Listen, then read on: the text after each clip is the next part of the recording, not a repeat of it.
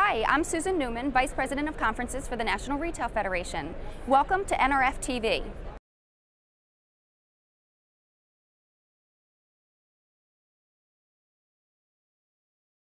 NRF is a great place for us to meet with our clients, to learn about some of the other options they have, to get educated on the state of the industry, to meet our business partners, and to meet people who may become our clients in the future. Terrific environment, very efficient for us.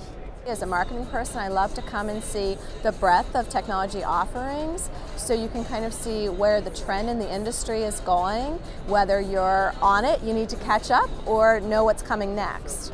To me, it's more of a networking event, and I have my networking contacts really categorized in three different areas existing clients that I just need to maintain relationships with, and this gives me a wonderful opportunity to be in touch with them.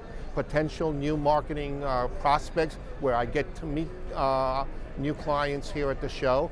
And then there are just existing contacts that I have lost contact with over the years, and we hook up at the show. So it's a wonderful networking event for me.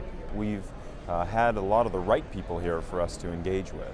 Um, you know, sometimes that can be a challenge at a trade show of is it the right audience? You know, sure they're from a company you're trying to target, but is it really the person that you're looking to engage? And I, I think we've seen that this year. It's a, it's a great show for us. All our customers uh, come to the show. It's a great platform to set up meetings uh, for uh, the right audience. So many of the members of the NRF are our customers. In fact, a significant portion of them are. And we're here to support them in a number of different ways. I think there are many great um, breakout sessions where you're able to learn what some of the best in the business are doing and kind of relate to what you might be able to do to build your business. Um, there are several um, different seminars. I'm excited tomorrow. Um, there's one on um, leadership trumps hardship. And I think all of us have experienced a different world in the past 12 to 18 months from the economy. And I think it'll be very interesting to see how many of the best companies in the business have weathered the storm.